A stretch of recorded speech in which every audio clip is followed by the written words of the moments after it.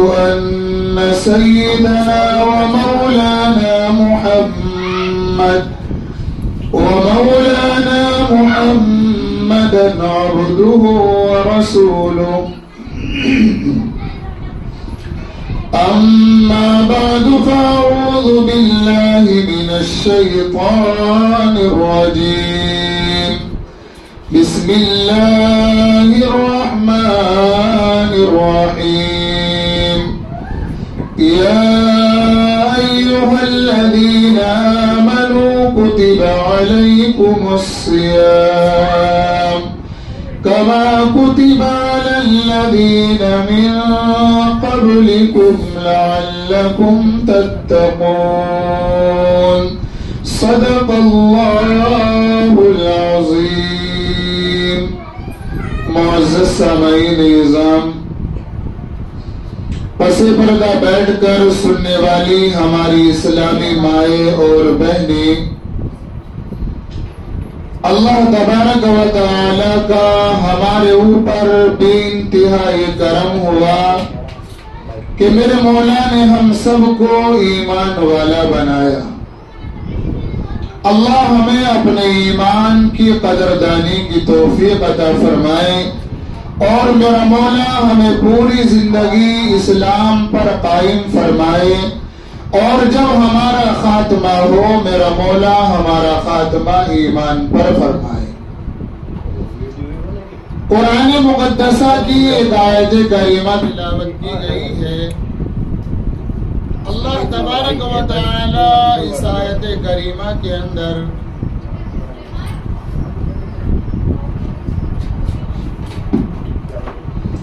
कुरान करीम की एक आयत करीमा तिलावत की गई है।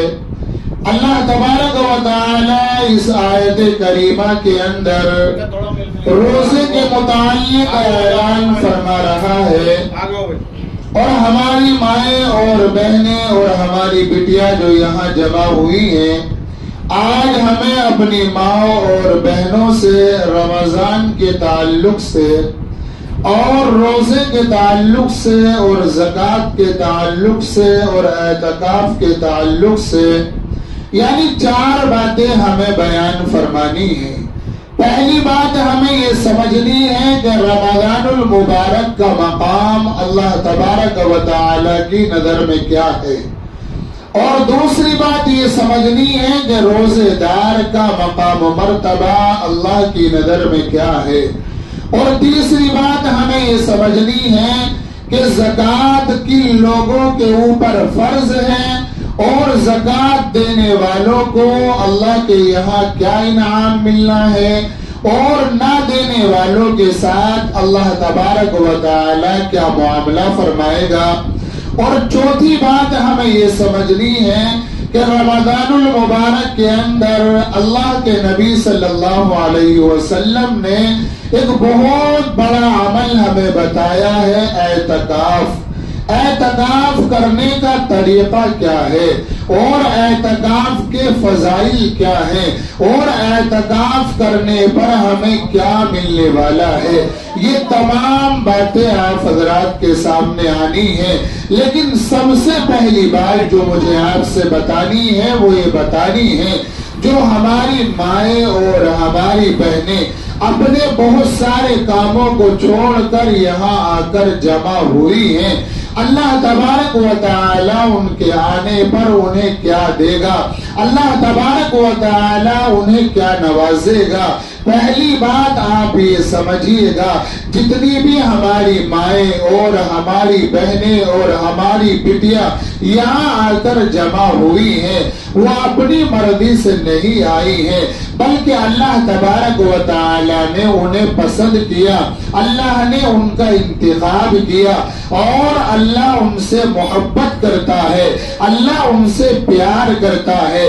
इसलिए अल्लाह तबारक वाला ने आज उन्हें इस महफिल का हिस्सा बनाया है। हमारे नबी ने ऐलान फरमाया, अल्लाह तबारक व ताला जब अपने बंदों से प्यार करता है, अपनी बंदियों से प्यार करता है, जब अल्लाह उन्हें जन्नत देना चाहता है, अल्लाह उन्हें जहन्नम से बचाना चाहता है, अल्लाह उनकी कब्रों में उजाला करना चाहता है, अल्लाह उनकी दुनिया भी बनाना चाहता है, अल्लाह उनकी आखिरत भी बनाना चाहता है, अल्लाह उनको इज्जतों से नवाजना चाहता है तो अल्लाह तबारक व ताला उन्हें दीन की समझ आता फरमा देता है।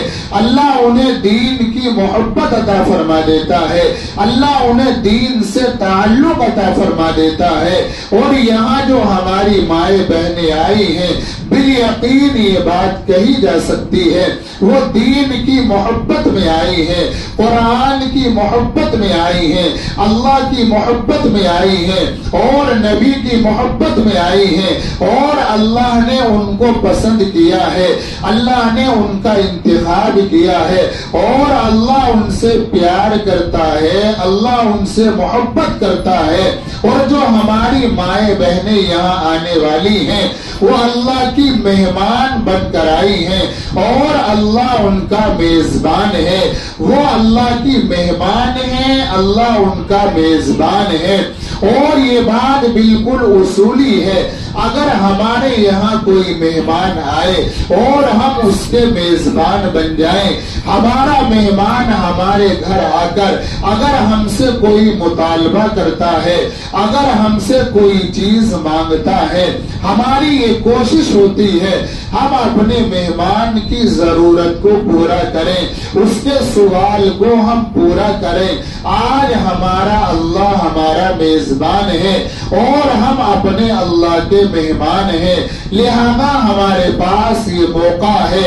आज अल्लाह से हम मांग लें। आज अल्लाह के सामने हम दुआएँ कर लें। अल्लाह के सामने हम अपने मुतालबात रख लें। अल्लाह तबारक व ताला आज हमारी दुआओं को रद्द नहीं फरमाएगा।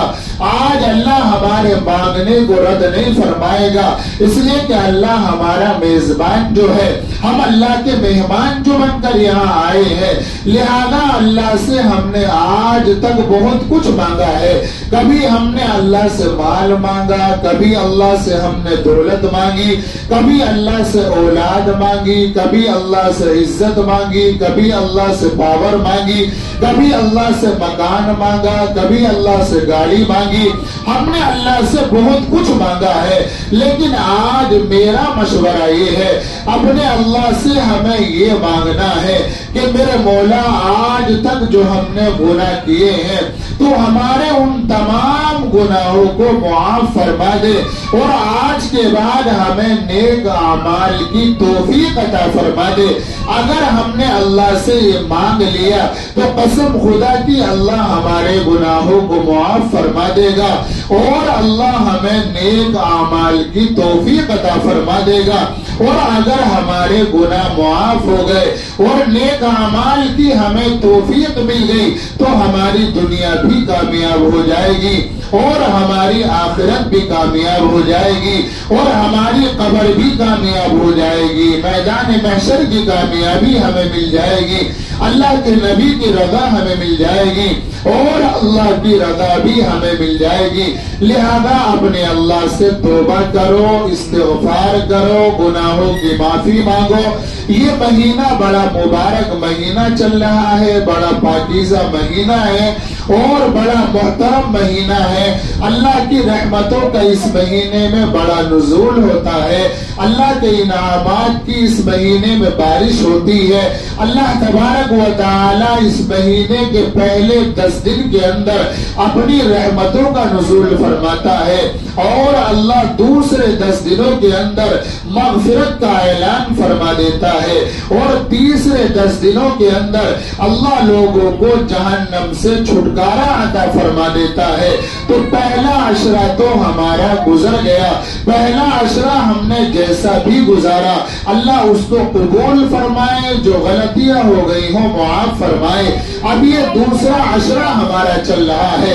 और इस अशरे के अंदर अल्लाह मगफिरत फरमाता है, अल्लाह गुनाहों को मुआफ फरमाता है। लिहाजा अल्लाह से गुनाहों की हमें मुआफी मांगनी है, और ये समझकर माफ़ी मांगनी है। हमारा अल्लाह खुद हमें ऐलान फरमाकर दावत दे रहा है, इस्तगफिरू रब्बकुम इन्नहु काना गफ्फारा। ए लोगों, तुम मुझसे माफ़ी मांगो और तुम गुनाहों की माफ़ी चाहो। मैं तुम्हारे गुनाहों को माफ़ करने वाला हूँ और मैं बहुत ज़्यादा माफ़ करने वाला हूँ। लिहाजा मगफिरत का ये आशरा चल रहा है। हमारी माए भी, हमारी बहनें भी, मर्द हजरात भी इस आशरे के अंदर अपने गुनाहों की माफ़ी मांगे और अल्लाह से मगफिरत चाहे। अल्लाह के नबी सल्लल्लाहु अलैहि वसल्लम ने फरमाया बड़ा बदनसीब है वो इंसान, बड़ा बदनसीब है वो मर्द, और बड़ी बदनसीब है वो माए और बहने, जो रमज़ान का रहमतों वाला, मगफिरत वाला महीना पाए, और अल्लाह से तोबा करके अपने आप को माफ़ ना करा ले, और अपने गुनाहों को माफ़ ना करा ले, लिहाजा अल्लाह ने हमें ये मौका दिया, ये महीना दिया, मगफिरत का आशरा दिया हमें अपने गुनाहों की माफ़ी मांगनी है और ये बात भूल जानी है कि हमने कितने गुनाह किए हैं। आज जब ये बात कही जाती है कि गुनाहों की माफ़ी मांगो, अल्लाह मुआफ फरमा देगा तो मर्दों के जहन में भी ये बात आती है, औरतों के जहन में भी ये बात आती है कि हमने तो बहुत सारे गुनाह किए हैं। अल्लाह हमारे इतने गुनाहों को माफ़ फरमा देगा, अल्लाह हमारी इतनी सारी नमाजें छोड़ने को माफ़ फरमा देगा अल्लाह हमारे इतने रोज़े छोड़ने को माफ़ फरमा देगा। अल्लाह हमारे इतना झूठ बोलने को माफ़ फरमा देगा। हमने तो बड़ी चुगली की है, बड़ी गीबत की है, बड़ा झूठ बोला है। हमने तो फुला गुना किया है, फुला गुना किया है। तो मेरी माओ और बहनों, पहले ये समझो कि हमारा अल्लाह बड़ा माफ़ करने वाला है। हमारा अल्लाह बड़ा माफ़ करने वाला है। अल्लाह इतना माफ़ करने वाला है कि अगर एक सौ साल कुफर करने वाला इंसान, सौ साल शिरक करने वाला इंसान, अगर सौ साल के बाद एक मरतबा ला इलाहा मोहम्मद रसूलुल्लाह कह देता है। अल्लाह सौ साल का कुफर मिटा देता है, सौ साल का शिरक मिटा देता है और सौ साल का उसका कुफर करना खत्म कर देता है और अल्लाह उसके कुफर को खत्म करता है, शिरक को खत्म करता है। अल्लाह कुफर को माफ़ कर देता है, शिरक को माफ़ कर देता है। तो हमें उम्मीद है, हमने न शिरक किया है न कुफर किया है हाँ हमने लापरवाही में गुना ज़रूर किए हैं। हमने कभी लापरवाही में झूठ बोल दिया है, कभी लापरवाही में नमाज़ छोड़ दी है, कभी हमने रोजा छोड़ दिया है, कभी हमने चुगली की है, कभी हमने गीबत की है, कभी हमने झूठ बोला है। अगर हम अल्लाह से तोबा करेंगे, अल्लाह से माफ़ी मांगेंगे तो हमारा अल्लाह हमारे गुनाहों को माफ़ फरमा देगा। अल्लाह ऐसा गुनाहों को माफ़ फरमाने वाला है। मेरे आका तशरीफ़ फरमा है। एक सहाबी आए और आकर रोने लगे और रोकर यूँ कहा कि, या नबी अल्लाह, मुझसे बहुत बड़ा गुना हो गया। क्या मेरा अल्लाह मेरा गुना माफ़ फरमा देगा? अल्लाह के नबी ने फरमाया कि अल्लाह ज़रूर माफ़ फरमाएगा। वो कहने लगा कि मेरे आका, बहुत बड़ा गुना मैंने किया है। अल्लाह के नबी ने फरमाया, तूने कितना बड़ा गुना किया है? क्या तेरा गुना आसमान से बड़ा है? ज़मीन से बड़ा है? तेरा गुना पहाड़ों से बड़ा है। जी हाँ या नबी, अल्लाह मेरा गुना आसमान से बड़ा है, ज़मीन से बड़ा है, पहाड़ों से बड़ा है, दुनिया से बड़ा है। आका ने फरमाया, तेरा गुना अल्लाह की रहमत से बड़ा है। वो कहने लगा, या नबी, अल्लाह अल्लाह की रहमत से बड़ा मेरा गुना नहीं है। अल्लाह के नबी ने फरमाया, फिर बता तेरा गुना क्या है। अब उसने अपना गुना बताना शुरू किया और वो कहने लगा कि, या नबी, अल्लाह, मेरा काम ये है कि जब कोई मर जाता है और उसको दफन कर दिया जाता है तो मैं उसका कफन चुरा लिया करता हूँ और कफन चुरा कर मैं बाज़ार में बेच कर अपने घर का खर्चा चलाया करता हूँ। लेकिन मेरे आका, एक दिन मैंने अचानक कफन चुराने के इरादे से कबर को खोदा और जैसे ही मैंने कबर को खोदा तो एक बड़ी हसीनो जमील लड़की उसमें दफन थी। मैंने उसका कफन खींचा और जब मैंने उसके बदन से कफन हटाया तो शैतान मेरे ऊपर गालिब आ गया। और फिर मैंने वो गुना किया जो मुझे नहीं करना चाहिए था। अल्लाह के नबी मैंने अपना मुँह काला किया, लेकिन जब मैं वो गुना करके वहाँ से निकलने लगा तो उस लड़की ने मेरा दामन अपने हाथ से पकड़ लिया और दामन पकड़कर वो कहने लगी हे अल्लाह के बंदे मेरे घर वालों ने मुझे नहलाया और गुसल दिया और मुझे अच्छा लिबास पहनाया और पाक साफ़ करके मुझे यहाँ सुलाया। तू मुझे नापाक करके जा रहा है। कल कयामत के दिन मैं तुझसे मालूम करूँगी और तुझे इस बात का जवाब देना पड़ेगा। अल्लाह के नबी जब से उसने ये जुमला कहा है, मेरे कानों में उसका ये जुमला गूंज रहा है। तीन दिन हो चुके हैं मेरे आका, मैंने खाना नहीं खाया। मैं बराबर रो रहा हूँ, तोबा कर रहा हूँ। क्या मेरा अल्लाह मुझे माफ़ फरमा देगा? अल्लाह के नबी ने जब ये गुना उसका सुना, अल्लाह के नबी ने भी अपना चेहरा घुमा लिया और वो वहाँ से उठा और उठकर जंगलों में चला गया, पहाड़ों में जाकर रोने लगा और अल्लाह से तोबा करने लगा। अल्लाह के नबी के पास जिब्राइल वही लेकर आए। और जिब्राइल ने आकर बताया गया नबी अल्लाह, वो फुला गुनाहगार जो आपके पास में आया था और आपने अपना चेहरा उससे घुमा लिया था, अल्लाह ने उसे मुआफ फरमा दिया है।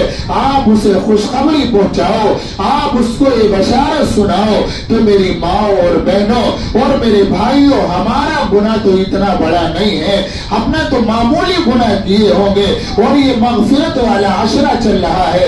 लिहाजा हमारी पहली ज़िम्मेदारी ये है, अल्लाह से तोबा करें इस्तेफार करें, अपने गुनाहों पर माफ़ी मांगे और आइंदा ये फ़िक्र करेंगे कि इंशाल्लाह हम गुना नहीं करेंगे। अब बात यहाँ से शुरू की जा रही है। ये रमजानुल मुबारक का महीना अल्लाह ने हमें आता फरमाया, ये बड़ी बरकतों का महीना है, बड़ी रहमतों का महीना है। अल्लाह के नबी सल्लल्लाहु अलैहि वसल्लम इस महीने के आने का इंतज़ार दो महीने पहले से किया करते थे। अल्लाह के नबी को इस महीने का इंतज़ार रहता था। मेरे आका को इस महीने की फ़िक्र रहती थी और महीने के आने से दो महीने पहले अल्लाह के नबी अल्लाह से दुआ फरमाते बारिक लना फ़ी रजब व शाबान व बल्लिगना इला रमज़ान। ए अल्लाह, तू मुझे मेरी उम्र में बरकत आता फरमा और मुझे रमज़ान तक पहुँचा। अल्लाह तबारक व तआला से दुआ फरमाते थे, अल्लाह रजब के महीने में बरकत आता फरमा, शाबान के महीने में बरकत आता फरमा और मेरी उम्र में इतनी बरकत आता फरमा ताकि मैं रमज़ान का रहमतों वाला महीना पाने वाला हो जाऊँ अल्लाह के नबी इस महीने का इंतज़ार फरमाते और फिर इस महीने के शुरू होने से पहले शाबान के आखिरी दिनों में अल्लाह के नबी सहाबा को बुलाते और बुलाकर इस महीने के बारे में समझाते इस महीने के फजाइल बताते इस महीने के बारे में अल्लाह की रहमतों का नजूल बताते ताकि इस महीने का एक लम्हा और एक मिनट भी हमारा गफलत में ना गुजर जाए। अल्लाह के नबी सल्लल्लाहु अलैहि वसल्लम ने इस महीने की आजमत को बयान फरमाया, इस महीने की पावर को बयान फरमाया और अल्लाह के नबी ने बताया, इस महीने में अल्लाह की रहमतों का नजूल होता है। अल्लाह के इनामात की बारिश होती है और अल्लाह की ऐसी रहमतें नाजिल होती हैं। अगर रमज़ान के महीने में कोई एक रुपया खर्च करने वाला होता है अल्लाह उसे सत्तर का सवाब आता फरमाता है। अगर कोई नफिल अदा करने वाला होता है, अल्लाह उसे फर्जों के बराबर सवाब अता फरमाता है। अगर कोई फ़र्ज़ अदा करने वाला होता है, अल्लाह उसे सत्तर फर्जों के बराबर सवाब अता फरमाता है। और हज़रत मुजद्दिद अल्फसानी रहमा फरमाते हैं कि एक सुई को लिया जाए। भाई, सुई तो सभी जानते हैं, हमारी माए बहनें सुई को जानती हैं। जो कपड़ा सीने में इस्तेमाल होती है, सुई को लिया जाए और समंदर के अंदर डालकर उसे निकाल लिया जाए। जितना पानी सुई के ऊपर लगकर आता है, अल्लाह की इतनी रहमतें ग्यारह महीनों में नाजिल होती हैं और जो सारा समंदर भरा हुआ है, अल्लाह की इतनी रहमतें रमज़ान के महीने में नाजिल होती हैं। ये रहमतों के नजूल का महीना है, इनामात की बारिश का महीना है, लिहाजा इस महीने की हमें कदर करनी चाहिए। इस महीने के बारे में तीन चीज़ों का ख्याल करना चाहिए। ये महीना हमारे पास मेहमान बनकर आता है। लिहाजा जब हमारे यहाँ कोई मेहमान आता है तो हम उसका इस्तेकबाल करते हैं।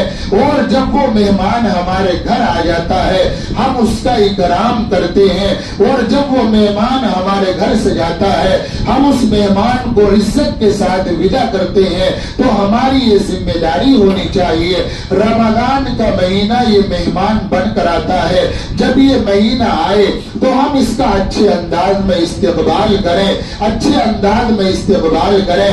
और जब ये महीना आ जाए तो इस महीने की हम इज़्ज़त करें और मेहमान नवाजी करें। और जब ये महीना जाए तो हम अच्छे अंदाज में इस महीने को विदा करें। तो ये तीन चीज़ों का ख्याल इस महीने के एतबार से हमें करना है।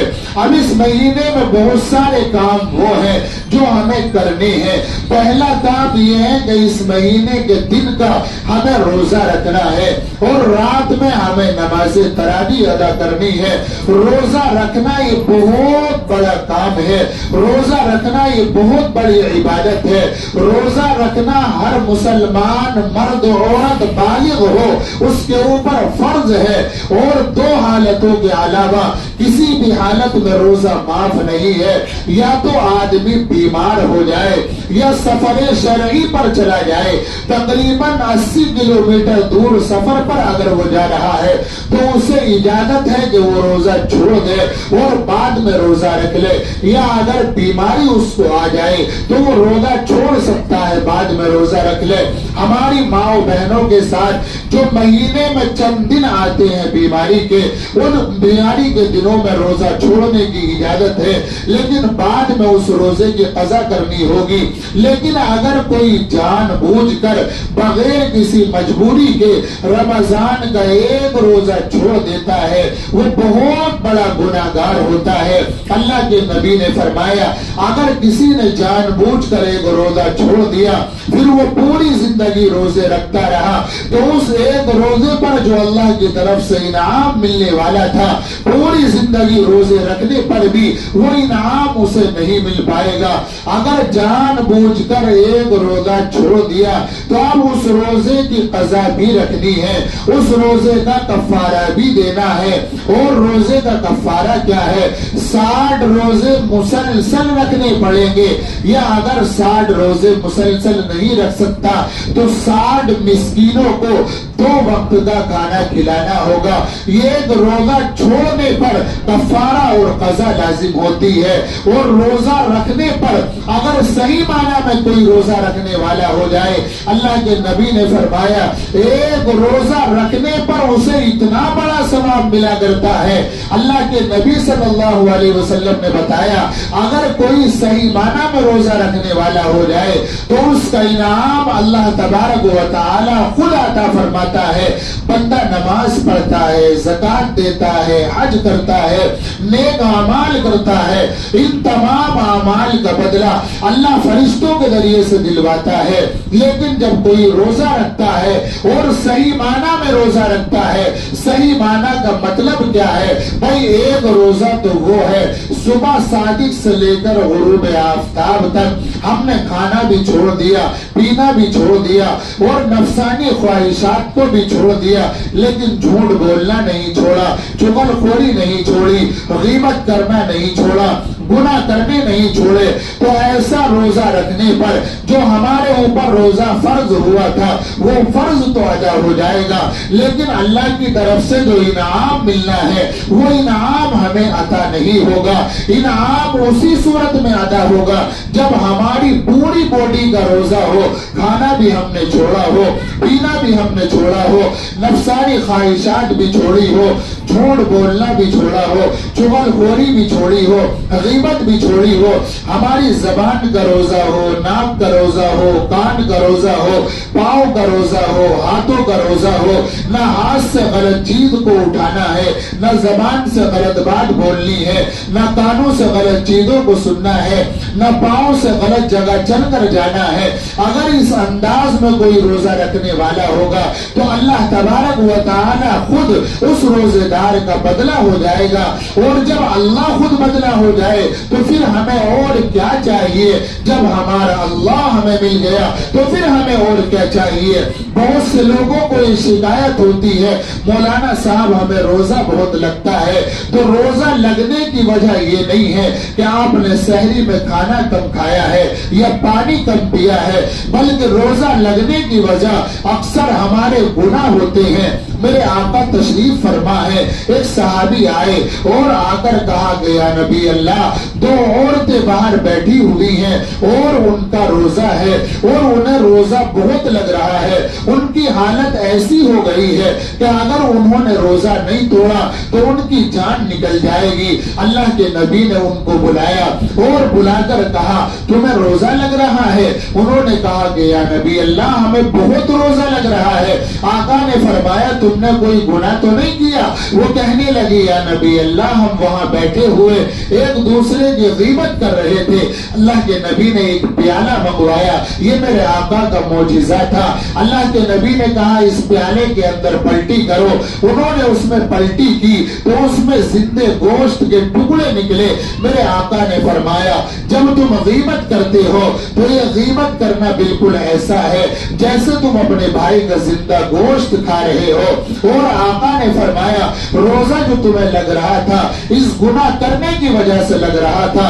तो रोजा जब लगता है तो आदमी जब गुना करता है गुना करने की वजह से उसको रोजा लगा करता है, और रोज़े में उसको बेचैनी हुआ करती है, और रोज़े में उसे तकलीफ़ हुआ करती है। जब वो रोज़े में गुना किया करता है तो हमें रोजा इस अंदाज में रखना है कि हमारी पूरी बॉडी का रोजा होना चाहिए।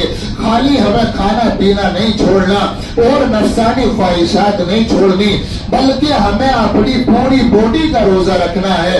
और मैं अपनी माओ और बहनों से कहूँगा, खासकर हमारी माए बहनें इस बात का ख्याल करें कि रमज़ान का एक एक मिनट कीमती है।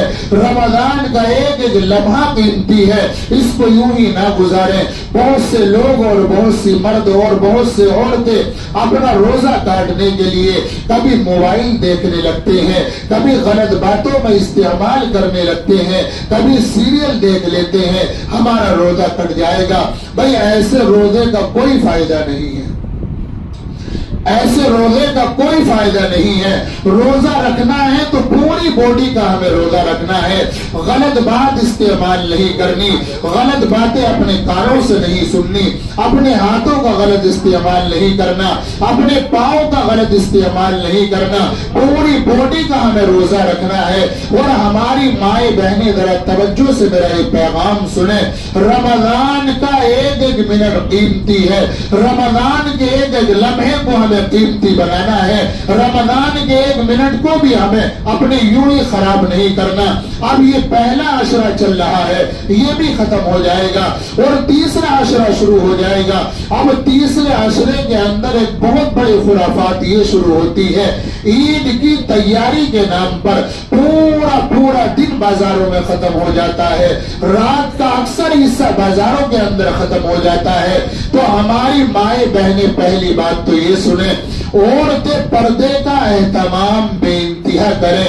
रमज़ान में पर्दे का बेइंतहा एहतमाम करें। भाई, पर्दा तो औरतों को बगैर रमज़ान के भी करना है, लेकिन रमज़ान में ईद की तैयारी के नाम पर जो बेपर्दगी होती है, अल्लाह उससे हमारी माओ बहनों की हिफाजत फरमाए।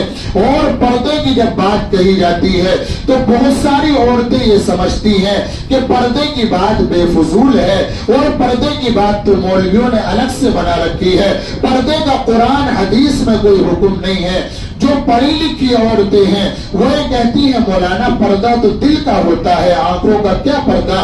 तो मेरी माए बहनें अगर सुन रही हैं तो दिल तो पहले से ही दो चार पर्दों में है। पर्दा असल आँखों का होता है। जब आँखें किसी चीज़ को देखती हैं, उसके बाद ही दिल में ख्याल जाता है। जब आँखें नहीं देखेंगी तो दिल में ख्याल भी नहीं आएगा। और जो बड़ी, बगैर पढ़ी लिखी औरती हैं वो ये कहती हैं, मौलाना, ये हमारे भाई का दोस्त है ये हमारे अब्बा का दोस्त है ये हमारा फुबेरा भाई है, मुमेरा है, तेरा है, चचेरा है। क्या इनसे भी हमें पर्दा करना पड़ेगा? तो तमाम माए और बहने सुने। अल्लाह ने कुरान में पर्दे का जब हुक्म दिया, रब ने फरमाया फस हिजाब यहाँ अल्लाह अपने नबी की बीवियों को हुक्म दे रहा है और साहब इकराम को हुक्म दे रहा है कि जब तुम्हें नबी की बीवियों से कुछ बात मालूम करनी हो तो बगैर पर्दे के मालूम न करो। हालाँकि नबी की बीवियाँ तो सारी उम्मत की माए हैं और साहब कराम की जमात तो बड़ी पाकिजा और मुकदस जमात है। साहब कराम से पाकिजा जमात कयामत तक कोई नहीं आएगी और नबी की बीवियों से पाकिजा औरतें भी कयामत तक नहीं आएँगी। जब अल्लाह नबी और नबी की बीवियों को और सहाबा को आपस में पर्दे का हुक्म दे रहा है तो फिर हमारा मुमेरा, हमारा फुबेरा और हमारा तेरा और हमारा चचेरा साहब इकराम से आगे नहीं बढ़ सकता। और हमारी माए बहने नबी की बीवियों से आगे नहीं बढ़ सकती। लिहाजा जो औरत पर्दे का इनकार कर दे कि पर्दा कोई चीज़ नहीं है, उसका तो ईमान खत्म हो जाता है, उसे कलमा पढ़ना चाहिए। और जो पर्दा नहीं करती, वो गुनागार होती है। और ये मानती है कि पर्दा करना चाहिए, लेकिन वो पर्दा करती नहीं तो वो गुनागार होगी। लेकिन जो पर्दे का इनकार कर दे, उसका ईमान खत्म हो जाएगा।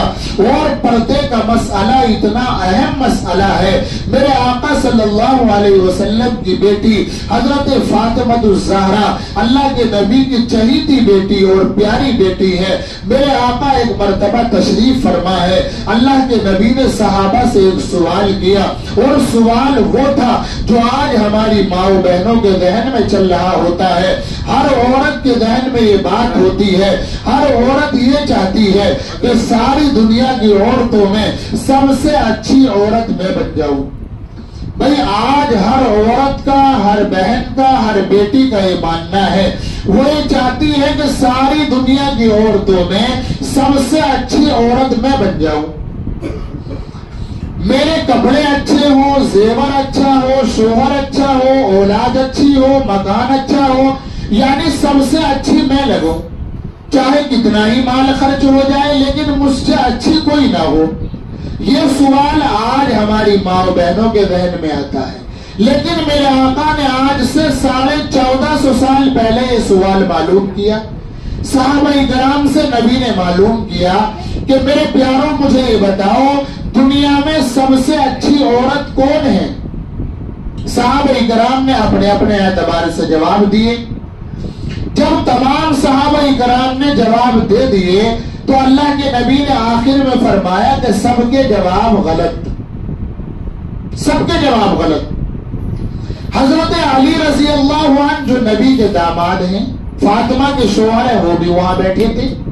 लिहाजा वो किसी काम से अपने घर गए। और जब घर गए तो हज़रत फातिमा ने देखकर फ़ौरन कहा कि मेरे सरताज आप परेशान क्यों अली ने कहा कि फातिमा, में परेशान हूँ, ये बात तो यकीनी है। लेकिन तुझे कैसे पता चला कि मैं परेशान हूँ? फातिमा ने एक जुमला कहा कि मेरे शोहर, आप जब भी घर में आते हो, रात हो या दिन हो, आप बगैर सलाम किए नहीं आते। आज आप आए हो और आपने सलाम नहीं किया। मैं समझ गई कि आपका दिमाग परेशानी में है। आज अगर मर्दों से कहा जाए ना भाई, सलाम करके जाओ घर में तो उनके जहन में ये बात होती है कि अपनी बीवियों को हम सलाम करेंगे तो हमारी इज़्ज़त क्या रह जाएगी? हालाँकि मेरा ये दावा है कि अगर शोहर बीवी को सलाम करना शुरू कर दे और बीवी शोहर को सलाम करना शुरू कर दे तो निन्यानवे फ़ीसद झगड़े इस सलाम की बरकत से खत्म हो जाएँगे। सलाम में अल्लाह ने बड़ी मोहब्बत रखी है। साहब ग्राम जब मक्के से हिजरत करके मदीने में आए तो साहबा का घर वहाँ रह गया, कारोबार वहाँ रह गया, बागात मक्के में रह गए। अब यहाँ मदीने में आए हैं निहत्ता। आका ने जो पहली तकरीर फरमाई मदीने में आने के बाद तो आका ने फरमाया, एक दूसरे को सलाम करो। मक्के से आने वालों ने मदीने वालों को सलाम किया, मदीने वालों ने मक्के वालों को सलाम किया। इस सलाम की बरकत से आपस में इतनी मोहब्बत पैदा हो गई कि मदीने वाले साहबा एक महीने के अंदर अंदर मक्के वालों से यूँ कहने लगे, मेरे भाई, मेरे पास दो मकान हैं। तू दोनों को देख ले, जो तुझे अच्छा लगे, एक तेरा, एक मेरा। ये मोहब्बत कहाँ से आई? सिर्फ़ इस सलाम की बरकत से। मेरे पास दो बाग हैं, तू दोनों के ऊपर नज़र डाल ले, जो तुझे अच्छा लगे, एक तेरा, एक मेरा। मेरी दो बीवियाँ हैं, मैं एक को तलाक दिए देता हूँ, उससे तू निकाह कर लेना। ये इतनी मोहब्बत आई है सलाम की वजह से, सलाम की वजह से। लिहाजा माए बहने भी इस बात का ख्याल करें कि अपने शोहरों को सलाम करें और आपस में खूब सलाम करें। और मर्द भी इस बात का ख्याल करें, जब घर में जाएँ तो सलाम करके जाएँ। और एक बात जहन में रखें, जो मर्द या औरत घर में दाखिल होते हुए सलाम करके जाएगा, अल्लाह की रहमतें उसके साथ दाखिल हो जाएँगी। जो बगैर सलाम के जाएगा, शैतान उसके साथ दाखिल हो जाएगा। लिहाजा आप मेरी इस एक बात को मानो, घर में जब भी जाओ, दुकान पर जब भी जाओ, पहले जाके सलाम करो। कसम खुदा की, अल्लाह की रहमतें तुम्हारे घर में और कारोबार में होनी शुरू हो जाएगी। सलाम को आप करो। तो फातिमा ने फ़ौरन कहा कि मेरे सरताज, आप जब भी आते हो, सलाम करके आते हो। आज आपने सलाम नहीं किया। मैं समझ गई कि आप किसी परेशानी में हैं। अली ने कहा कि परेशानी है और बहुत बड़ी परेशानी है। कहा कि क्या परेशानी है? कहा कि आका ने सवाल किया है कि दुनिया की सबसे अच्छी औरत कौन है? हमने जवाब दे दिए, सबके जवाब नबी ने गलत बता दिए। फातिमा ने फरमाया कि मैं बताऊँ इसका जवाब क्या है? अली ने कहा कि बताओ। तो मेरी माओ बहनों, जरा आप सुनो तवज्जो से और ये जवाब सुनो और ये नियत करो कि इंशाला इसके ऊपर हम अमल करेंगे इंशाला फातिमा ने फरमाया कि दुनिया की सबसे अच्छी औरत वो है जो जान बूझ कर किसी गैर मर्द को ना देखे। समझ गए बात? जान बूझ कर अगर धोखे से नज़र पड़ जाए तो कोई गुना नहीं, नज़र हटा लो। जान बूझ कर किसी गैर मर्द को ना देखे और ना ही जान बूझ कर किसी गैर मर्द की नज़र अपने जिसम पर पड़ने दे। सबसे अच्छी औरत वो है, हज़रत अली गए, और जाकर अल्लाह के नबी के दरबार में यही जवाब बता दिया। अल्लाह के नबी बाकायदा खड़े हुए और अली को सीने से लगाया और कहा कि, अली, तुमने बिल्कुल सच कहा। अली ने कहा कि, मेरे आका, ये अल्फाज मेरे हैं, लेकिन जवाब फातिमा का है। आका ने फ़ौरन कहा, फातिमा तो बिजा तुम मिन्नी। फातिमा तो मेरे जिगर का टुकड़ा है। और फातिमा तो जन्नत की औरतों की सरदार है। फातिमा तो जन्नत की औरतों की सरदार है। तो मेरी माओ और बहनों, इन दो बातों का ख्याल करो। जान बूझ कर अपनी नज़र गैर मर्द पर न डालो और न किसी गैर मर्द की नज़र अपने ऊपर पड़ने दो। मैं हाथ जोड़कर माफ़ी मांगकर अपनी माओ बहनों से एक बात यहाँ कहूँगा। सारी माए बहनें एक सी नहीं है बड़ी बड़ी अल्लाह वाली अभी पड़ी है। इसलिए तो दुनिया का निज़ाम चल रहा है। लेकिन अक्सर औरतों का यह हाल हो गया है। जब पार्टी में जाना हो, शादी में जाना हो, मार्केट में जाना हो, वो इस अंदाज में अपने आप को तैयार करके जाती है कि उनका इरादा ये होता है कि आज तो पूरी पार्टी वालों की नज़र मेरे ऊपर पड़ेगी। आज तो सब मुझे देखते रह जाएँगे, मेरे कपड़ों को, मेरे जेवर को और मेरे सिंगार को। वो इस अंदाज में तैयार होकर जाती है और नबी की बेटी फरमा रही है, दुनिया की सबसे अच्छी औरत वो है जो ना अपने ऊपर किसी गैर मर्द की नज़र पड़ने दे और ना ही अपनी नज़र किसी गैर मर्द के ऊपर डाले। और मेरी माओ बहनों, यहाँ एक बात और सुनो, अगर मेरा बेटा नाफरमान हो जाए, अगर मेरी बेटी नाफरमान हो जाए, हम ये बात कहते हैं है। तू मेरा कहना नहीं मानता। लिहाजा मैं अपने घर में तुझे हिस्सा नहीं दूँगा। जो हमारे मुल्क की गवर्नमेंट हो और हुकूमत हो, अगर कोई हुकूमत के खिलाफ बोल दे, सरकार उसको बर्दाश्त नहीं करती। अगर कोई बेटा बाप के खिलाफ बोल दे बाप उसको बर्दाश्त नहीं करता और सरकार मुल्क में नहीं रहने देती, सुकून से जेल में डाल देती है, बेटा घर में नहीं रहने देता, और अगर कोई फातिमा के खिलाफ वर्जी कराए तो फातिमा उसे जन्नत में जाने देगी, बिल्कुल भी नहीं जाने देगी। फातिमा तो पर्दे का इतना एहतमाम करने वाली थी कि पूरी ज़िंदगी पर्दे का एहतमाम किया। और जब आखिरी उम्र आई तो अपने शोहर को बुलाकर एक जुमला ये कहा, अगर मेरा इंतकाल दिन में भी हो जाए, जनाजा मेरा रात में लेकर जाना। मैं ये नहीं चाहती कि मरने के बाद भी मेरे कफन के ऊपर भी किसी गैर मर्द की नज़र पड़े। इतना ज़्यादा फातिमा पर्दे का एहतमाम करने वाली थी। और मेरे आका सल्लल्लाहु अलैहि वसल्लम बैठे हैं और आका ने फरमाया कि मेरे प्यारो, एक जमाना ऐसा भी आएगा, औरतें लिबास भी पहनेंगी और वो नंगी भी होंगी। साहबा ने कहा, या नबी, अल्लाह, ये बात समझ में नहीं आई। जब उनके ऊपर लिबास होगा तो वो नंगी क्यों होगी? आका ने फरमाया, उनका लिबास तीन तरह का होगा। और फिर मेरे नबी ने फरमाया, जो ये तीन तरह का लिबास पहनने वाली होगी, वो जन्नत में जाना तो दूर की बात। जन्नत की खुशबू भी नहीं पाएगी। मेरे आका, जन्नत की खुशबू कितनी दूर से आती है? आका ने फरमाया, पाँच हज़ार किलोमीटर दूर से जन्नत की खुशबू आती है। है। लेकिन नबी ने फरमाया, जो तीन तरह का लिबास पहनेगी, वो नंगी शुमार होगी और जन्नत में जाना दूर की बात, जन्नत की खुशबू भी नहीं पाएगी। वो तीन तरह का लिबास क्या है मेरी माओ बहनों, सुनो।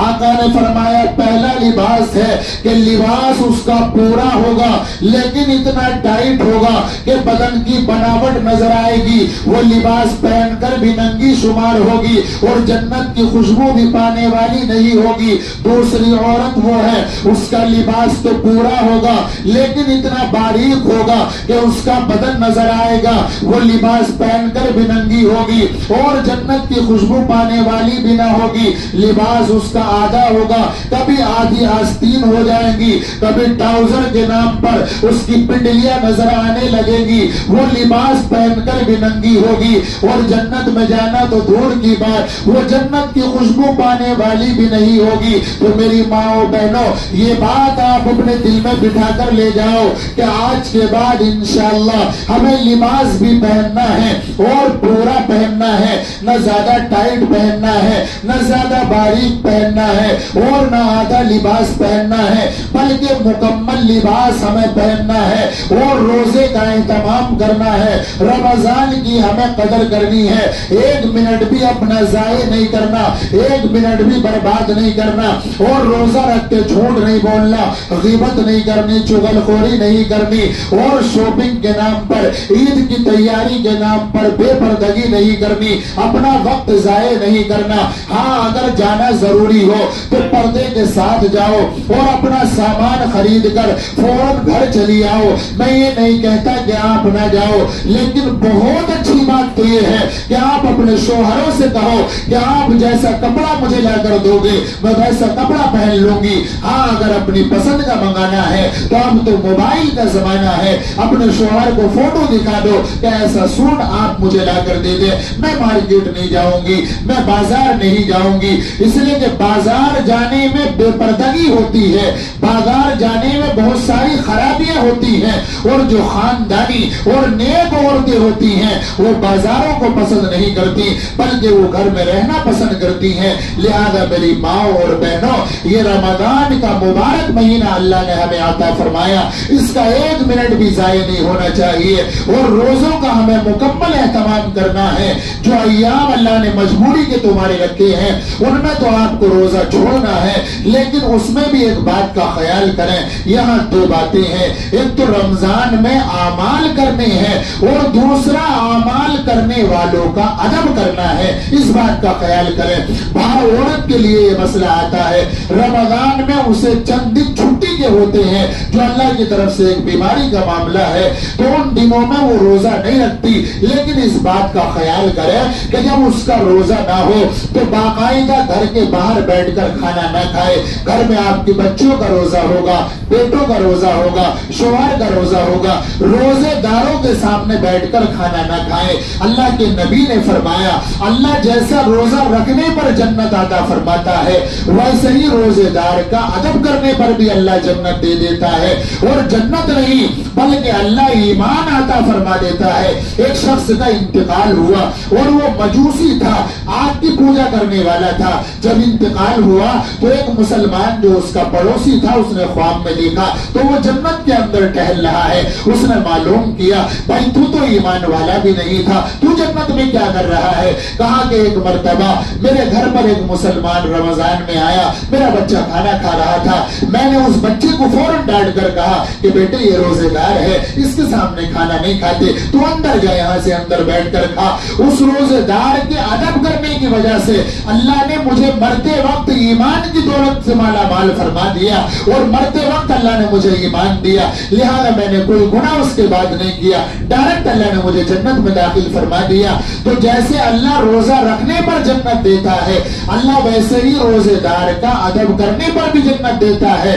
मर्द भी सुने, औरतें भी सुने, रोज़े भी रखने हैं और रोजेदारों का अदब और एहतराम भी हमें करना है। अब तीसरी बात जरा सी और ये समझ लीजिए, रमज़ान का ये मुबारक महीना अल्लाह ने हमें दिया।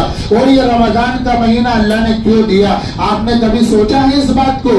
ये रमज़ान का महीना अल्लाह ने हमें इसलिए आता फरमाया, अल्लाह के नबी की उम्मत से पहले, जो अल्लाह ने उम्मतें भेजी उन उम्मतों की बड़ी बड़ी उम्र हुआ करती थी। एक हज़ार साल की उम्र, पाँच सौ साल की उम्र, छह सौ साल की उम्र इतनी इतनी उम्र हुआ करती थी। हज़रत मूसा सलाम बैठे हैं, एक औरत आई और आकर कहा कि, मूसा, आप दुआ कर दे, अल्लाह मेरे बच्चों की उम्र में बरकत अता फरमा दे। मेरे बच्चे बचपन में मर जाते हैं। मूसा ने फरमाया, कितनी उम्र में मरते हैं? कहा कि, कोई तीन सौ साल का मर जाता है, कोई चार सौ साल का मर जाता है। मूसा मुस्कुराने लगे और यूँ कहा कि भैया, एक जमाना ऐसा भी आएगा, वहाँ उम्मतों की उम्र सत्तर और अस्सी साल होगी। तो वो बुढ़िया नहीं सर पे हाथ रख के कहा, क्या वो अपने रहने के लिए मकान भी बनाएँगे? कहा कि, मकान की बात करती है, वो बड़ी बड़ी बिल्डिंगें बनाएँगे। वो कहने लगी, अगर अल्लाह मुझे सत्तर साल की उम्र दे तो मैं तो एक सजदे में उसे गुजार दू।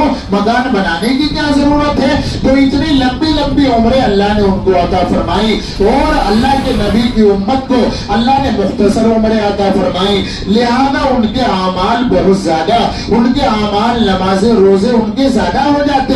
इसलिए अल्लाह तबारक वाली ने अपने महबूब की उम्मत को ये रमज़ान का मुबारक महीना अता फरमा दिया। और फिर इस महीने के अंदर अल्लाह ने एक रात वो अता फरमा दी, अगर उस रात को कोई ईमान वाला मर्द या औरत पाने वाली हो जाए, अल्लाह एक हज़ार रातों के बराबर सवाब अता फरमाता है, और उस रात को कहते हैं शब कदर अब रमज़ान का महीना अल्लाह ने दिया, लेकिन इस महीने में भी हमसे गफलत हो जाती है, इस महीने में भी हमसे गुनाह हो जाते हैं, इसलिए अल्लाह तबारक व ताला के नबी ने इस महीने के अंदर भी एक मखसूस अमल हमें दिया है, उस मखसूस अमल का नाम है एतकाफ एतकाफ के माना है एक जगह रुक जाना और ठहर जाना, हमारे आका जब तक ज़िंदा रहे। मेरे आका ने हर रमज़ान में आखिरी अशरे का एतकाफ फरमाया। अल्लाह के नबी ने पूरी, यानी मदीने में आने के बाद, मदीने में आने के बाद हर साल मेरे आका ने रमज़ान के आखिरी अशरे का एहतकाफ फरमाया। एक साल नहीं किया तो आइंदा साल मेरे आका ने दो अशरों का एहतकाफ फरमाया। और अल्लाह के नबी से पूरे महीने का एहतकाफ करना भी साबित है। दो अशरों का एहतकाफ भी साबित है। और तीसरे अशरे का एहतकाफ तो मेरे फरमाते ही थे। तो एहतकाफ ये एक ऐसा अमल है एहतकाफ के अंदर एक जगह अपने आप को रोका लेना है और ठहरा लेना है। जो मर्द हजरात है, वो ऐसी मस्जिद के अंदर एहतकाफ करेंगे, जहाँ पाँच वक्त की नमाज़ अदा की जाती है और मस्जिद के अंदर वो अपने आप को रोका लेंगे। वो मर्दों का मसला है, लेकिन बात यहाँ मस्तूरात को बतानी है। मस्तूरात अपने घर में एहतकाफ करेंगी और घर में भी किसी एक हिस्से का वो इंतखाब कर ले कि मुझे यहाँ रहना है और यहाँ बैठकर, यहाँ सोकर और यहाँ रहकर एहतकाफ करना है। उस एहतकाफ की बरकत से होता यह है कि बहुत सारे फजूल काम छूट जाते हैं। बहुत सारे फजूल काम छूट जाते हैं। और अल्लाह के नबी ने तो यहाँ तक फरमाया, जो एहतकाफ करने वाला होता है और जो एहतकाफ करने वाला नहीं होता तो ना करने वाला बाहर रहकर जो अमाल करता है एहतकाफ करने वाले को उन अमाल का न करने के बाद भी सवाल दिया जाता है। यानी जो बाहर है, वो तो अमाल कर रहा है। नमाज़ जनाजा भी पढ़ेगा, मरीजों की आदत भी करेगा। लेकिन जो एहतकाफ में बैठ गया, वो तो बाहर नहीं आएगा। लेकिन अल्लाह वहाँ बैठने की बरकत से उसको बगैर करे ही सवाब अता फरमाता रहता है। तो हमारी माए बहनें भी एहतकाफ करें। हमारे आका ने पूरी ज़िंदगी एहतकाफ किया। हज़रत अम्मा आयशा फरमाती हैं, मेरे आका जब दुनिया से चले गए तो फिर हमने एहतकाफ किया है और हम भी बाकायदा एहतकाफ किया करते हैं। तो मस्तूरात इस बात का ख्याल करें कि एहतकाफ करें। एहतकाफ का इतना बड़ा सवाब होता है। अल्लाह के नबी ने फरमाया एहतकाफ करने वाले को अल्लाह दो मकबूल हज और दो मकबूल उम्रों का सवाब अता फरमा देता है। और उसके और जहन्नम के दरमियान अल्लाह दस खंदकें हाइल फरमा देता है। और एक खंदक की लंबाई और चौड़ाई ज़मीन और आसमान के बीच में जो एक खला है, इतनी उसकी लंबाई और चौड़ाई होती है। यह एहतकाफ करने वाले को मिलने वाला सवाब है। और इस एहतकाफ की बरकत से शब कदर भी उसे आसानी से मिल जाया करती है। इसलिए कि आका सल्लल्लाहु अलैहि वसल्लम के शब कदर के बारे में बहुत से अकवाल हैं, लेकिन आखिरी अशरे की जो ताकराते हैं, अल्लाह के नबी सल्लल्लाहु अलैहि वसल्लम ने अक्सर उन ताकरातों की तरफ़ इशारा फरमाया है शब कदर का। तो शब कदर भी उसको मिल जाएगी, और शब कदर जो इंसान, मर्द हो या औरत, जो पाने वाली हो जाए, उसको एक हज़ार रातों के बराबर इबादत करने का सवाब मिला करता है।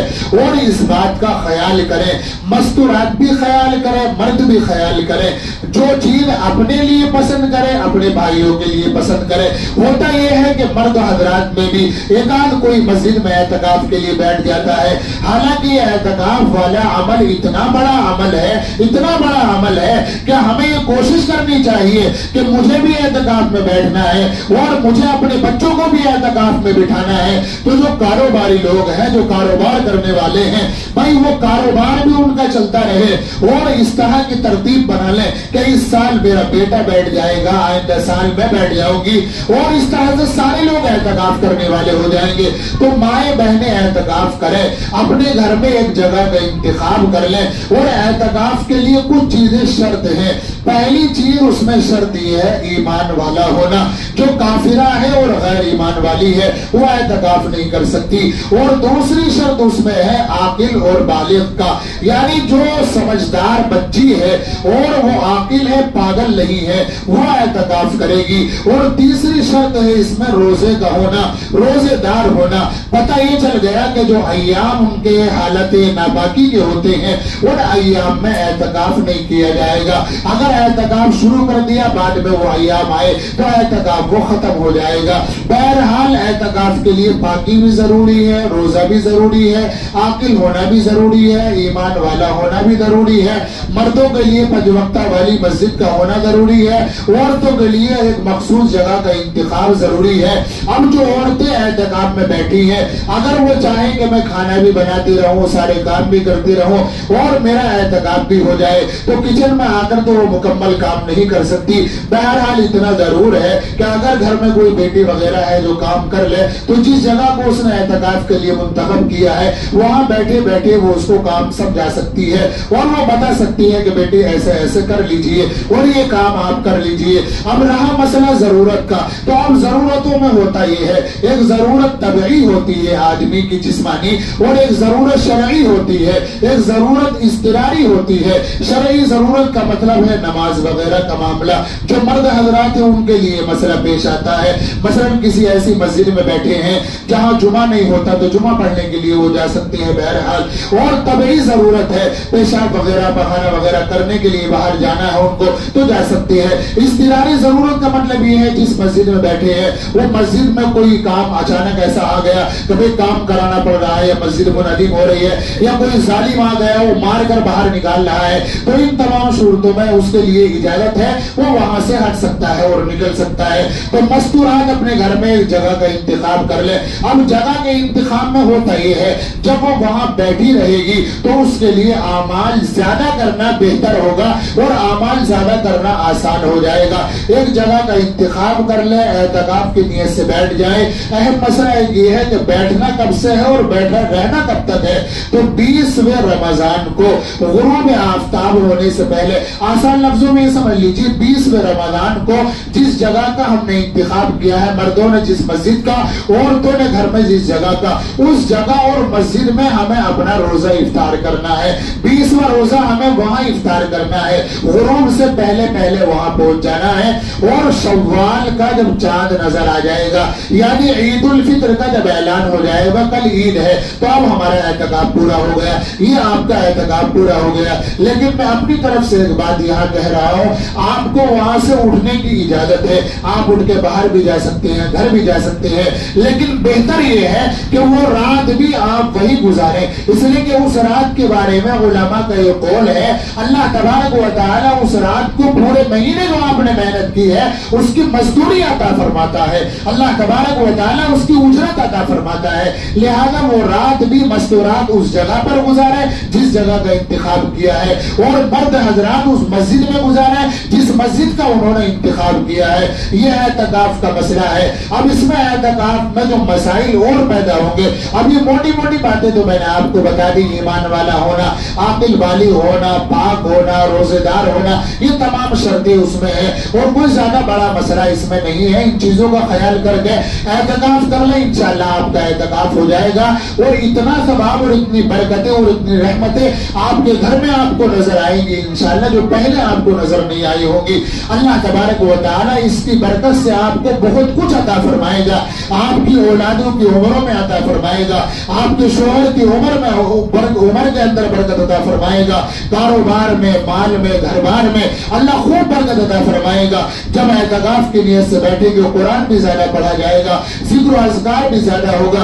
अब बहुत सारे मर्द भी, औरत भी फिर ये मसला मालूम करती हैं, मौलाना एहतकाफ में हम बैठ गए तो हमें करना क्या है? भाई एहतकाफ के मुस्तकिल अलग से कोई इबादत नहीं है। हाँ इतना ज़रूर है जब आप बैठे हैं तो जो नवाफिल, नफली इबादतें हैं, जिनको हम आम दिनों में छोड़ देते हैं, मसलन इशराक है चाश्त है अवाबीन है ताजुद है, इन तमाम का बाकायदगी के साथ फिर एहतमाम किया जाए, फिर इशराक की नमाज़ भी पढ़ी जाए चाश्त भी पढ़ी जाए अवाबीन की नमाज़ भी अदा की जाए और तहजुद की नमाज़ भी अदा की जाए, और कुरान करीम भी कसरत के साथ पढ़ा जाए, और ज़िक्र आजकार अल्लाह का ज़िक्र किया जाए, अल्लाह के नबी पर दरूद कसरत के साथ में पढ़ी जाए, उसका फ़ायदा ये होगा, जब दरूद कसरत के साथ में पढ़ेंगे तो हो सकता है अल्लाह के नबी सल्लल्लाहु अलैहि वसल्लम की जियारत भी नसीब हो जाए, अल्लाह तबारक व तआला की जियारत भी नसीब हो जाए, और अल्लाह तबारक व तआला का इनाम बहुत ज़्यादा आपके ऊपर हो जाएगा। बहरहाल ये बातें जो मोटी मोटी थी मैंने आपको बताई। माओ बहनों को पहला पैगाम मैंने पर्दे के एतबार से दिया, और दूसरा पैगाम रोज़े के एहतमाम के एतबार से, और तीसरा पैगाम रोजोदार की अहमियत के एतबार से, और चौथा पैगाम एहतकाफ के एतबार से दिया। एक पैगाम और जो मैंने बयान किया था जक़ात के ताल्लुक से, वो भी बताना था, लेकिन हज़रत मुफ्ती साहब तशरीफ़ फरमा है। मैं चाह रहा हूँ कि हज़रत मुफ्ती साहब जक़ात के ताल्लुक से हमारी माओ बहनों को समझा दें। इसलिए कि हमारी माओ बहनों के अंदर बड़ी गफलत है जक़ात के ताल्लुक से। वो ये समझती है कि जक़ात देने का मामला तो मर्दों का है, हमारा कोई मामला नहीं है। हालाँकि वो खुद मालिक बनी बैठी होती है, उनके पास भी बहुत सारा माल होता है, लेकिन बस वो यही समझती है कि मर्द जक़ात दे देंगे, हमारा बेटा दे देगा, शोहर दे देगा, हमारा क्या मामला है जक़ात का, हमें क्या करना है जक़ात से? तो जक़ात औरतों के ऊपर भी होती है उनको भी देनी चाहिए। हज़रत मुफ्ती साहब इंशाला जक़ात के ताल्लुक से हमारी माओ बहनों को बताएँगे और समझाएँगे। एक बात और मैं अपनी माओ बहनों को बता दू एक बहुत बड़ा मसला है और आम तौर से औरतों के अंदर ये पाया जा रहा है। और वो मसला क्या है कहीं भी औरतों को पता चल जाए कोई अल्लाह वाले आए हैं आलिम आए हैं कोई कोई कोई भी पता चल जाए वो फ़ौरन दुआ के लिए वहाँ पहुँचती हैं बात कहलवाती हैं। और एक मसला दूसरा तावीजात वगैरह का ये, ये औरतों में बहुत ज़्यादा पाया जाता है। और परेशानी उनकी अक्सर यही होती है। कि शोहर भी कमा रहा है, बेटा भी कमा रहा है, घर में माल आता भी है, लेकिन मौलाना साहब आता हुआ दिखता है, जाता कहाँ है, ये हमें पता नहीं चलता है। तो मैं अपनी माओ और बहनों से एक बात कह रहा हूँ। अगर वाकई वो ये चाहती है कि उनके घर के अंदर बरकत हो और खूब बरकत हो और कभी बरकत खत्म ना हो तो वो तीन चीज़ों का एहतमाम कर लें इनशाला कभी भी उनके घर की बरकत खत्म नहीं होगी। पहली चीज़ वो ये करें कि पंच वक्ता नमाजों की पाबंदी करें। पाँच वक्त की नमाजों का एहतमाम करें। जरा जरा बहाना लेकर नमाजों को ना छोड़े। जरा जरा बहाना लेकर नमाजों को ना छोड़े। पाँच वक्त की नमाजों का एहतमाम करें। अब होता यह है कि अगर किसी का छोटा बच्चा है और बच्चे ने अगर पेशाब कर दिया तो समझो हम दो वक्त की नमाज़ खत्म हो गई। हालाँकि इस दौर में कोई ऐसा मसला नहीं है। हमसे अगर 40 साल पहले की औरत इस बहाने को लेकर नमाज़ खत्म करती तो बात समझ में आ सकती थी। इसलिए कि उस वक्त में कपड़े बड़े कम होते थे, दो जोड़ी, तीन जोड़ी, एक जोड़ी कपड़े भी होते थे। लेकिन अब तो मसला औरतों का ये है। अगर आप किसी भी औरत से मालूम कर लो कि तेरे पास कितने कपड़े हैं, बगैर गिने कसम खुदा की वो नहीं बता सकती। अब तो घर में झगड़े इस बात के हैं कि भाभी की जो सेफ़ अलमारी है, उसमें देवरानी के कपड़े नहीं है। इसलिए कि उसके भाभी के नहीं आ रहे, उसमें दूसरे कौन रखेगा? इतने कपड़े हरीद के अलग है ब्याह के अलग है, शादी के अलग, कोई भी फ़ंक्शन हो अलग है। इतने कपड़े होने के बाद भी अगर औरत इस बहाने से नमाज़ छोड़ रही है कि बच्चे ने पेशाब कर दिया, ये बड़ी गफलत की बात है। तो पहला काम ये करें, पाँच वक्त की नमाजों की पाबंदी। और दूसरा काम ये करें कि पर्दे का मुकम्मल एहतमाम। और तीसरा काम ये करें कि अपने घर में बगैर दस्तरखान बिछाए न खुद खाना खाए और न दूसरों को खाना खाने दे। अगर बच्चा खाना मांगे, दस्तरखान दे, शोहर मांगे, दस्तरखान दे, बगैर दस्तरखान के खाना ना खाए, ये तीन काम कर ले और मेरी गारंटी है, इंशाल्लाह घर से कभी बरकत खत्म नहीं होगी अल्लाह अमल की तोफीक अदा फरमाए वाह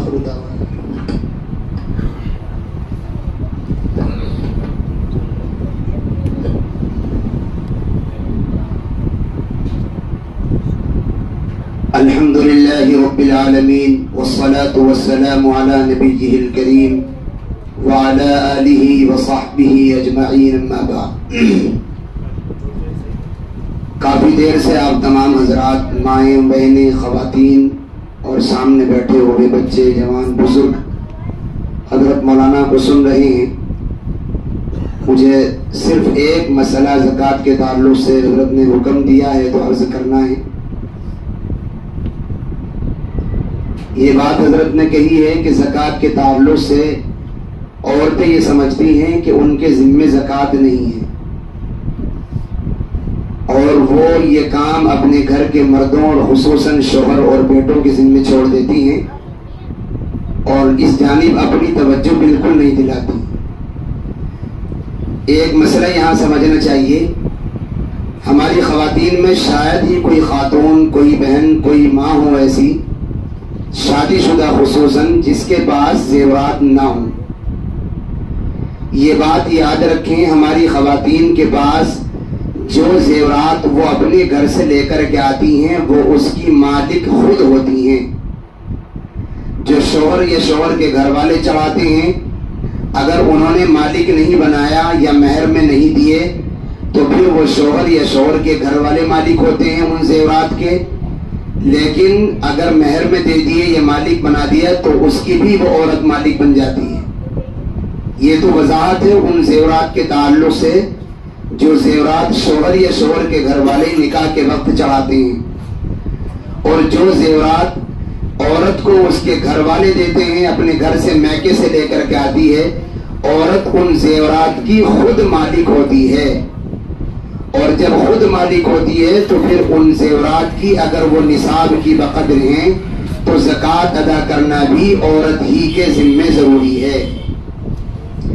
अगर शोहर अपनी खुशी से अदा कर दे तो ठीक है। अगर शोहर अदा ना करे तो शोहर अदा ना करने की वजह से गुनहगार नहीं होगा। बल्कि औरत चूँकि मालिक है और वो अदा नहीं कर रही है तो अदा ना करने की वजह से औरत गुनहगार होगी। अब हमारी खातन ये कहेंगी कि मुफ्ती साहब, हम कहाँ से अदा करें? हम कोई कमाने थोड़ी जा रहे हैं। हम जॉब नहीं कर रहे हैं, कारोबार नहीं बिज़नेस नहीं, हमारे पास रेंट नहीं आ रहा कुछ नहीं। हम कहाँ से दें? मेरी प्यारी माएँ और प्यारी बहनें और इस्लामी खातन ये अल्लाह के फ़र्ज़ दर्जे का हुक्म है। और इसके लिए आपको कहीं ना कहीं से कोई ना कोई शक्ल ज़रूर बनानी पड़ेगी। और अदायगी की आसानी से शक्ल इस तरह आप बना सकती हैं कि आपके जो पर्सनल पैसे शोहर आपको खर्च करने के लिए देता है, जैसे आप उसमें से अपनी पर्सनल ज़रूरियात के तौर पर वो पैसे खर्च करती हैं और अपनी ज़रूरियात के सामान लाती हैं, उसी में से बचा कर काट कर किसी भी तरह, कैसे भी करके आपको अपनी जक़ात खुद अदा करना चाहिए। चाहे शोहर से आप इसी नाम पर मांगे कि मुझे अपनी चीज़ों की जक़ात देनी है, आप मुझे कुछ पैसे दे दें। चाहे शोहर से आप ये कहें कि आप थोड़ा सा मेहरबानी कर दें मेरे ऊपर, अगर आप नहीं देंगे तो मैं गुनहगार होंगी जक़ात न देने की वजह से। और आप मेरे प्यारे शोहर हैं और आप ये नहीं चाहेंगे कि मैं अल्लाह के हुजूर जक़ात न देने की गुनहगार बनूं। जब आप शोहर से ऐसे कहेंगी तो शोहर आपको जक़ात के अदा करने के लिए पैसे भी दे देगा। इसलिए जो चीज़ें, जो जेवरात आपके अपने मैके से मिले हुए होते हैं, उनकी जक़ात आपको खुद अदा करनी चाहिए। और अपने शोहरों से कहना चाहिए, अपनी जाती जरूरियात में से घटा कर, काट कर, किसी भी तरह बचा करके वो जक़ात खुद अदा करनी चाहिए। याद रखें, जक़ात अदा करना फ़र्ज़ है। और इतना शदीद जुर्म है जक़ात जक़ात अदा न करना। रोज़े मैशर, वो जक़ात, वो माल जिसकी जक़ात अदा न की गई होगी, अल्लाह ताला उसको अजदा और सांप की शक्ल में बना करके उस शख्स के, उस औरत के गर्दन में डाल देगा। और वो खजाना उससे यूँ कहेगा कि मैं वही खजाना हूँ जो तेरी मिल्कियत में दुनिया में था, लेकिन तूने जक़ात अदा नहीं की थी। इसलिए हमारी खातन खुद अपनी मिल्कियत को मुतन करें कि वो किस किस चीज़ की मालिक है, वो निसाब के बकदर है या नहीं, और जक़ात अदा किया करें। इसमें कोई अगर मगर किंतु परिंतु चलने वाला नहीं है। और अपनी ज़िम्मेदारी समझ करके इस काम को करना हमारे लिए ज़रूरी है, वरना पीछे छोड़ाते रहेंगी। तो याद रखिए, जक़ात अदा ना करना ही ये बेबरकती का ज़रिया है। जक़ात अदा न करना ही घर में मसाइब के आने का ज़रिया है। जक़ात अदा न करना ही कारोबार के पट होने की वजह है। जक़ात अदा न करना ही शोहर बीवी में इख्तलाफ की बहुत बड़ी वजह होती है। जक़ात अदा न करना यह गरीबों का हक और उनका खून खाना है। जक़ात अदा न करना यह गरीबों को सताना है और उनका हक मारना है। इसलिए कभी भी इसके साथ कम समझौता न किया करें। और जक़ात के बुनियादी और बेसिक मसाइल सीख कर जान कर समझ कर उन पर अमल किया करें और जक़ात का जो पूरा प्रोसीजर उसको सामने रखते हुए अगर आपके ऊपर जक़ात फ़र्ज़ है तो फिर जक़ात ज़रूर अदा किया करें। जक़ात जिनके ऊपर फ़र्ज़ है, उनकी जानब उन लोगों की निगाहें रहती है जो गरीब हैं। वो उम्मीद लगाए रहते हैं कि मेरा फुला भाई या फुला पड़ोसी या फुला रिश्तेदार, वो मालदार है, उसके पास करोड़ों रुपए है, वो लखपति है, वो जक़ात निकालेगा तो दो चार, दस, पाँच हज़ार रुपए मेरे हिस्से में भी आ जाएँगे, मेरी भी ज़रूरत पूरी हो जाएगी, मेरे बच्चों के भी घर की इफ्तारी का इंतज़ाम हो जाएगा, मेरे बच्चों के भी ईद के कपड़े का इंतज़ाम हो जाएगा। और हम उस माल पर सांप की तरह, नाक की तरह बैठे रहें, उसकी जक़ात अदा ना करें। याद रखें, ये समाजी भी जुर्म है और शरय भी जुर्म है अल्लाह के नज़दीक आखिरत में भी इसकी पकड़ होगी और दुनिया में भी इसकी ज़रूर पकड़ होती है और दुनिया में अल्लाह ताला ऐसे लोगों को ज़रूर दिखाता है जो गरीबों का हक दबा कर खा जाते हैं और उस पर नाक की तरह डसते रहते हैं और अपना पना फैलाए रहते हैं। इसलिए जक़ात के साथ कोई कॉम्प्रोमाइज नहीं होनी चाहिए। जक़ात ज़रूर अदा करनी चाहिए। उम्मीद करते हैं आप तमाम खातन को ये बुनियादी बातें मुख्तसर वक्त में हज़रत मौलाना ने बहुत तफसील से आपकी खिदमत में बयान की है और ये एक मसला मेरे जहन में था, मैंने बयान कर दिया है। जक़ात तमाम लोग खातन भी, मर्द भी अपनी अपनी मिल्कियत मुतन करके ज़रूर अदा करें। हाँ ये बता देता हूँ। जक़ात अगर आपको जेवरात की अदा करनी है, देखो ये दो तीन मसले बुनियादी, जब इसने बच्चे ने कही दिया तो मैं समझा देता हूँ। अगर आपको जेवरात की जक़ात देनी है तो सेवरात की दो कीमतें होती हैं। एक तो सोने की कीमत वो है जिसमें आपने खरीदा था, और एक सोने की कीमत वो है जो आज की डेट में है। वो ज़ोर से मत बोलो बेटा, नहीं? सोने की एक कीमत तो वो है, ये चांदी की एक कीमत तो वो है जिसमें आपने खरीदा था, और एक कीमत आज की डेट की है। तो दोनों में से कोई सी भी कीमत नहीं लगाई जाएगी। आपके पास जो सोना या चांदी मौजूद है, उस सोना या चांदी को आपका की सुनार किस कीमत में खरीदेगा? जिस कीमत में आपका वो जेवरात बिकेगा, जिस कीमत में आज की डेट में जो वैल्यू आज की डेट में उस जेवरात की है, उस कीमत के एतबार से जक़ात अदा की जाएगी। मैं समझाता हूँ, आज से पाँच छह साल पहले सोने की कीमत तीस हज़ार रुपए थी और आज साठ हज़ार रुपए। तो ना तो तीस हज़ार रुपए वाली लगेगी और ना लगेगी साठ हज़ार रुपए वाली। आपके पास जो पुराना गोल्ड पाँच, छह साल पहले खरीदा हुआ है, या जब कभी खरीदा हुआ है, आप उस गोल्ड या सोने या चांदी की कीमत मार्केट में पता करें जाकर के कि मार्केट में क्या कीमत है उसकी। जिस रेट में सोना आपका सुनार खरीदेगा, वो कीमत के एतबार से उसकी जक़ात अदा की जाएगी। और अगर आप पैसों की जक़ात अदा कर रहे हैं तो याद रखिए, ढाई फ़ीसद जक़ात होती है। एक लाख रुपए पे पच्चीस सौ रुपए जक़ात बनती है। अगर आपके पास एक करोड़ रुपए हैं तो फिर ढाई लाख रुपए जक़ात अदा करनी होगी। और अगर आपके पास पचास हज़ार रुपए या पचास हज़ार रुपए की सोना चांदी मौजूद है तो साढ़े बारह सौ रुपए जक़ात के निकालना ज़रूरी होगा। एक मसला और ध्यान में आया हमारी बहुत सी खातन और बहुत से भाई कहते हैं कि जक़ात तो मेरे ऊपर फ़र्ज़ है, लेकिन मेरे पास अदा करने के लिए पैसे नहीं है। तो क्या करें? असल में असल शरीयत का हुक्म ये है कि जिस चीज़ जिस माल की वजह से जक़ात फ़र्ज़ हो रही है, उसी माल का 40 फ़ीसद जक़ात के तौर पर दे दे। अगर आपके पास सोने की वजह से जक़ात फ़र्ज़ हो रही है तो उस सोने का 40 फ़ीसद जक़ात में दे दे। अब आप कहेंगे, जी, सोना जक़ात में निकलवा रहे हैं। तो भाई सोना मत निकालिए, आपके पास देने के लिए नहीं है। किसी से उधार लेकर दे दीजिए। जक़ात पैसे उधार लेकर भी दी जा सकती है। लेकिन कोशिश करें वक्त पर दे दें। रमज़ान में गरीब, मदरसे वाले, जरूरतमंद, फकीर, यतीम, मिस्कीन, ये आस और उम्मीद लगाए रहते हैं कि इनके पास माल आएगा, गरीबों की कफालत होगी, जरूरतमंदों की जरूरतें पूरी होंगी। इसलिए रमज़ान के मौके पर ही जक़ात ज़रूर निकाल दिया करें। एतकाफ एतकाफ हो या इद्दत हो इसमें कोई अलग से पर्दे के स्पेशली अहकाम नहीं है। जिनसे इद्दत में जिनसे बगैर इद्दत के हैं उनसे इद्दत में भी है। जिनसे बगैर एतकाफ के हैं उनसे एतकाफ में भी है। बेटे हैं आपके या दामाद हैं इनसे पर्दा है ही नहीं। चाचा हैं ताए हैं इनसे पर्दा है ही नहीं। ताए जात भाई चचा जात भाई इनसे पर्दा बगैर इद्दत के बगैर एतकाफ के भी है एतकाफ में भी है। कोई अलग से पर्दे के अहकाम नहीं है। चलिए, पहले ये समझ लें जक़ात कितने माल पे है। आज आज के जमाने में जो तोला होता है ना, वो दस ग्राम का है। और पहले जमाने में जो तोला होता था, वो होता था बारह ग्राम का। तो बारह ग्राम के तोले के एतबार से जक़ात की, का जो निसाब था, वो था साढ़े बावन तोला चांदी, या इसकी कीमत, या सोना चांदी दोनों मिला करके इतनी कीमत को पहुँच जाए जिसमें 12 ग्राम के तोले के एतबार से साढ़े बावन तोला चांदी आ जाए। ये पुराने वाले निसाब के एतबार से है। आज के जमाने में तोला है 10 ग्राम का।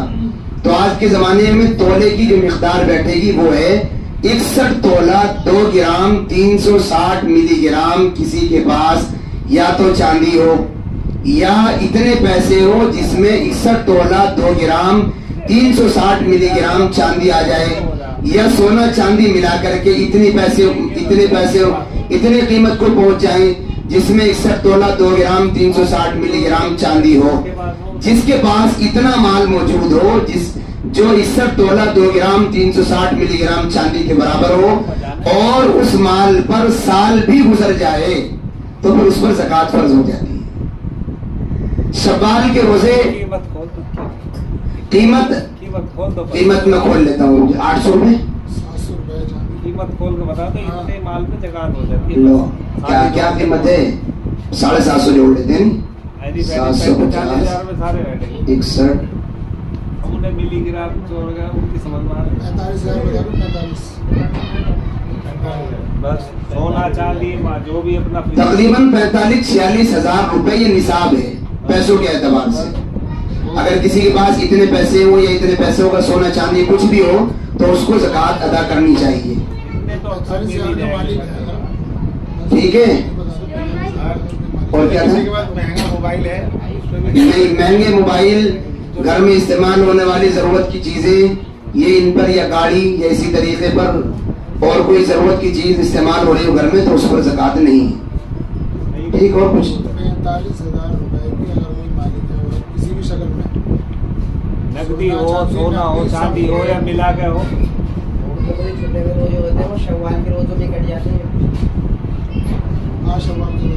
शवाल के ईदी के जो छह रोज़े होते हैं, ईदी के छह रोज़े मुस्तकिल रखने चाहिए और जो छोटे रुपए रोज़े हैं वो अलग से रखने चाहिए। ठीक है? बस दुआ कर लें। अल्लाहुम्मा लकल हम्दु लकल शुक्र।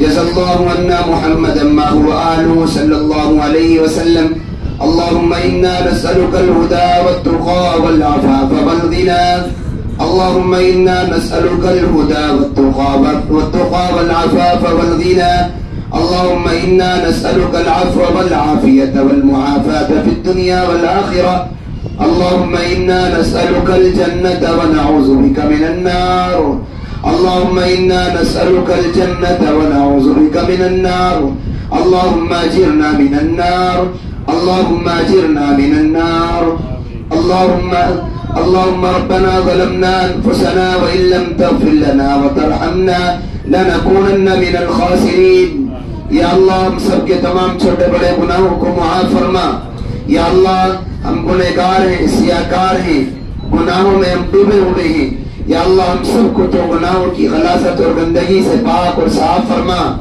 या अल्लाह, हमारी तमाम मुश्किलों को आसान फरमा। या अल्लाह, हमारी तमाम नाफरमानियों को मुआफ फरमा। या अल्लाह, हमारी तमाम तमाम सरकशियों को नजरअंदाज फरमा। या अल्लाह, छोटी बड़ी तमाम खामियों को नजरअंदाज फरमा। या अल्लाह, अपने नेक, सच्चे और अच्छे बंदों में शामिल फरमा। या अल्लाह, रमज़ान और मुबारक का मुकद्दस महीना चल रहा है। इसकी कदरदानी की तौफीक नसीब फरमा। इसकी कदरदानी की तौफीक नसीब फरमा। इसकी नाकदरी से हमारी हिफाजत फरमा। या अल्लाह, आज हमने अपनी खातन के सामने जो कुछ कहा है और जो कुछ सुना है, या अल्लाह, उसके सुनने पर अमल की तौफीक नसीब फरमा। कहने सुनने पर अमल की तौफीक नसीब फरमा। या अल्लाह, हाजरीन की तमाम नेकार और जाए तमन्ना को पूरा फरमा। हमारे तमाम बीमारों को सेहत कामिला, आजिला मुसमिर दाइमा नसीब फरमा, परेशान हालों की परेशानियों को दूर फरमा, बीमारों को सेहत कामिला, आजिला मुसमिर दाइमा नसीब फरमा, हमारे तमाम मरहुमीन की बाल बाल माफिरत फरमा। या अल्लाह, जिन लोगों ने हमसे दुआओं के लिए कहा है, या जिनका हम पर हक है, या जो हमसे तवक्को और उम्मीदें रखते हैं, उनकी तमाम नेक आर्ज और जायज़ तमन्ना को पूरा फरमा। या अल्लाह, रमज़ान मुबारक की बेहतरीन साथें और घड़ियाँ गुजर रही हैं। या अल्लाह इसमें हमसे जो कुछ भी नेकी हो रही हैं, उन नेकियों को कबूल फरमा और जो कुछ भी खामियाँ और लफ्जिशें हो रही हैं, या अल्लाह उनको माफ़ फरमा। या अल्लाह जिन लोगों ने हमसे दुआओं के लिए कहा है, या जिनका हम पर हक है, या जो हमसे और उम्मीदें रखते हैं, उनकी तमाम नेक और जायज़ तमन्ना को पूरा फरमा। या अल्लाह हमारी इस मुख्तसर सी दुआ को महबूब आलम जनाब मोहम्मद सल्लल्लाहु अलैहि वसल्लम के तुफैल में मकबूल और मंजूर फरमा।